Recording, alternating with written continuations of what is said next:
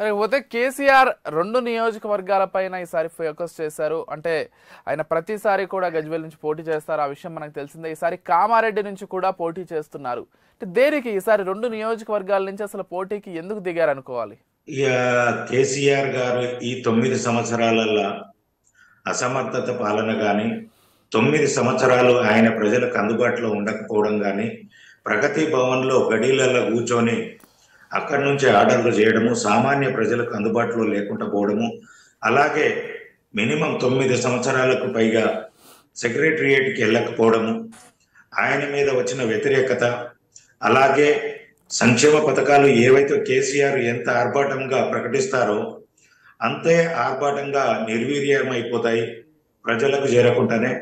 ఇవన్నిటికీ కేసీఆర్కు తెలుసు. కేసీఆర్ గారు ఈరోజు ఆయన పోటీ చేస్తున్న స్థానాలలోనే ఓడిపోతాననే ఒక అభద్రతా భావం కలిగింది.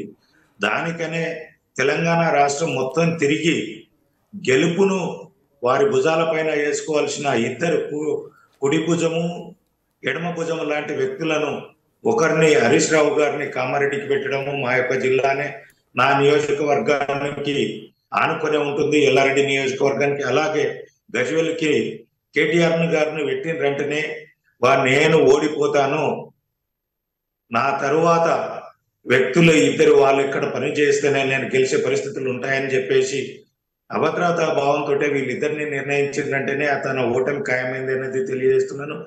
మరి ముఖ్యంగా హరీష్ రావు గారు కేటీఆర్ గారు అసలు ఈ నియోజకవర్గాలలో తిరగాల్సినంత అవసరం ఉండదు. ఒక ముఖ్యమంత్రిగా తొమ్మిది సంవత్సరాలు పది సంవత్సరాలు చేసిన వ్యక్తి అలాగే ఒక రా ఒక పార్టీకి అధ్యక్షుడు నామినేషన్ వేసిండంటే కార్యకర్తలే తిరిగి గెలిపించుకోవాలి. కానీ ఆయన ఎడిగ ఎడమ భుజము కుడి భుజము రెండు కళ్ళ లాంటి వ్యక్తులను రెండు కాళ్ళ లాంటి వ్యక్తులను ఈ రెండు నియోజకవర్గాలకు నిర్ణయించిందంటేనే ఇక బీఆర్ఎస్ తట్టాబుట్ట చదువుకోవాల్సిన అవసరం ఉంది. అలాగే ఫామ్ హౌస్లో సేద తీరాల్సిన అవసరం ఉందని చెప్పేసి తెలియజేస్తున్నాను.